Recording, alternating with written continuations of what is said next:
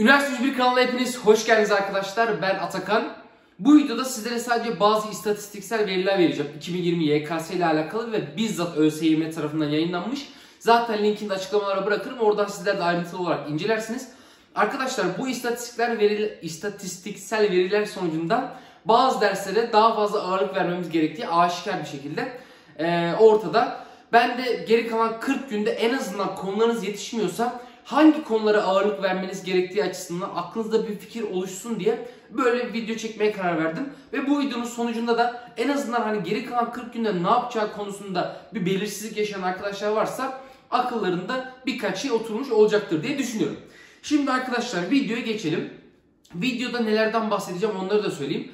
Öncelikle her dersin tek tek kaç puan getirisi olduğundan bahsedeceğim. Sonrasında her dersin Türkiye çapındaki e, ortalamalarından ve standart sapmalarından bahsedeceğim. Ve zaten bu üç veri tipini ele aldığımızda aslında bizim hangi derslere daha çok ağırlık vermemiz gerektiği konusunda hem fikir olmuş olacağız sizlerle beraber.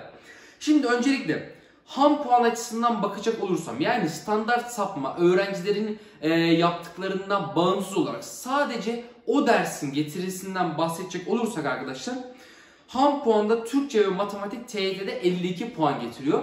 40 soru olduğunu baz alırsak her bir soru Türkçe ve matematikte 1.3 puan getiriyor arkadaşlar bizlere.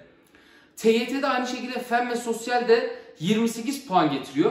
Dolayısıyla 20 soru olduğunu baz alırsak her birinde her bir sosyal ve her bir fen sorusu bizlere 1.4 puan getiriyor. Şimdi bu veriye baktığımızda aslında sosyal ve fen daha çok puan getiriyor gibi gözüküyor. Yani Türkçe ve matematikte soru başına 1.3 puan kazanırken sosyal ve soru başına 1.4 puan kazanıyoruz. Ama işte bunlar ham puan arkadaşlar. Daha bunların üzerine standart sapmalar eklenince tabii ki Türkçe ve matematik çok daha öne geçiyor. Onu daha sonra inceleyeceğiz. Şimdi AYT adına konuşacak olursak AYT'de matematik soruları 3 puan getiriyor. Fizik soruları 2.85 puan getiriyor. Kimya ve biyoloji soruları da aşağı yukarı 3 puan getiriyor arkadaşlar. Eşit ağırlık için matematik yine 3 puan getiriyor. Edebiyat yine 3 puan getiriyor. Tarih 2.8, coğrafya ise 3.3 puan getiriyor. Yine bunlar da standart sapmalar ele alınmadan sadece ham puan getirilir. Şimdi arkadaşlar biraz ortalamaları ve standart sapmaları inceleyelim. 2020 YKS'de TYT'de Türkçe ortalaması 40 soruda 14.5 soru. 14.5 net arkadaşlar. Sosyalde 7.9 net. Matematikte 6 net bakın. 40 soruda 6 net matematik ortalaması var. Fen ortalaması da 20 soruda 3.2 net. AYT'ye geçecek olursak edebiyat ortalaması 4.2 net. Tarih 1 ortalaması 1.2 net. Coğrafya 1 ortalaması 1.36 net. Matematik ortalaması da 8 net arkadaşlar yine 40 soruda. Fizik, kimya, biyoloji ortalamalarında da fizik 1.3 netle en düşük sırada ve en fazla soru sayısına sahip olmasına rağmen sonrasında biyoloji 1.5 puan getiriyor ve 1.5 ortalamaya sahip ve kimyada 1.7 ortalamaya sahip arkadaşlar 2020 YKS'de. Peki bu ortalamaların sonucunda tabii ki standart sapmalar oluşuyor.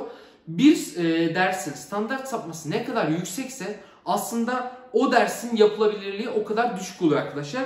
Şimdi standart sapmaları verdiğimizde aslında hangi dersi daha fazla ağırlık verirsek daha fazla puan getirisi olacak görmüş olacağız. Şimdi Türkçe TYT'de standart sapması 9.2 puan.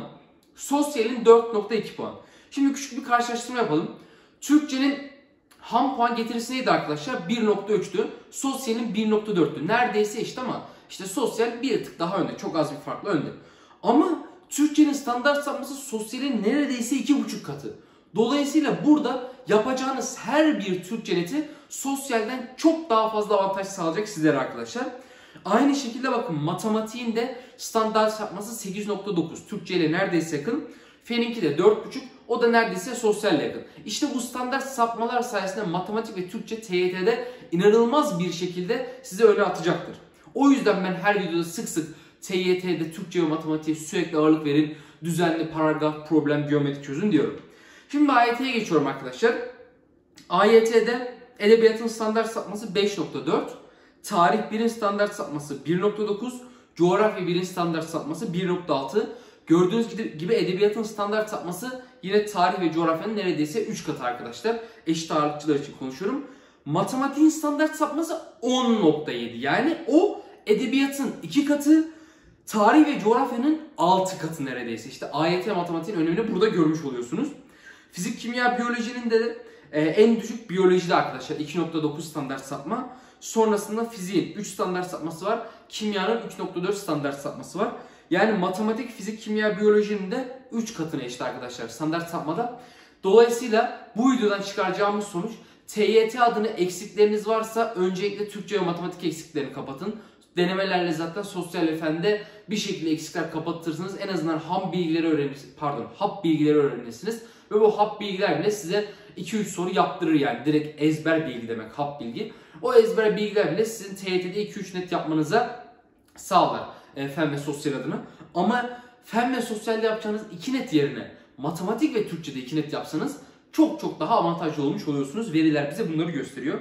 AYT'de de arkadaşlar matematik, tarih coğrafyanın 6 katı, fizik, kimya, biyolojinin de 3 katı bir standart sapmaya sahip. Dolayısıyla AYT matematik kesinlikle önceliğiniz olması lazım. Ki ben şunu söylüyorum AYT matematikte eksikleriniz varsa sınav gününe kadar bence bir soru bankası ve bir konu anlatımı şeklinde çalışmalar yapın. Çünkü yani öğreneceğiniz her bir konu, öğreneceğiniz her bir formül, öğreneceğiniz her bir soru metodu sizlere çok şey katacaktır AYT matematik adına diye düşünüyorum.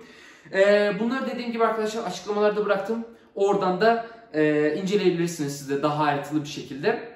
Bunun dışında kanala e, abone olmayı unutmayın. Sınava daha yakın sürede tabii ki daha çok video gelecek. Bu videoları kaçırmamak için abone olmayı unutmayın. Beğenip yorum yaparsanız da çok çok mutlu olurum arkadaşlar.